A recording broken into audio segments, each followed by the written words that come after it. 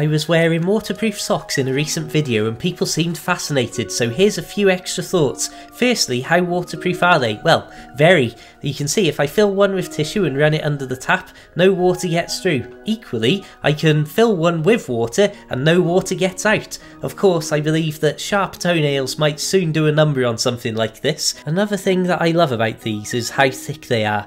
They're made up of multiple layers and in this case the exterior layer is quite a thick neoprene material. Of course this means they can make your shoes incredibly tight and also that external layer in this case can hold on to an awful lot of water even if your foot inside is dry. Although I do love and recommend these things, I will say the biggest drawback is that if you're out and about on a camping trip they can be a little bit tricky to dry. Because of the waterproof nature you have to dry them twice effectively, once outside and then once inside out.